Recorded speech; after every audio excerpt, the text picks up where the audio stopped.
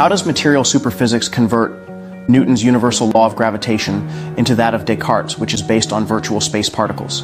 We convert Newton's universal law of gravitation into Cartesian by reinterpreting g as the volume of space particles displaced by the smallest unit of matter. We then apply this g on the volume displaced by two masses m to get the total volume displaced by them. We then divide this total volume by the distance between the two masses to get the low pressure volume which directly exposes the high pressure that pushes the two masses together.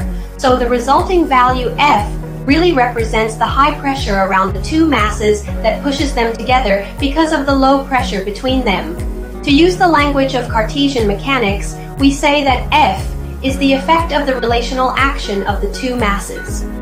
Thanks for watching! Please like the video so we'll make more of it or dislike it so we'll make less. Subscribe or share a video to let us focus on that topic.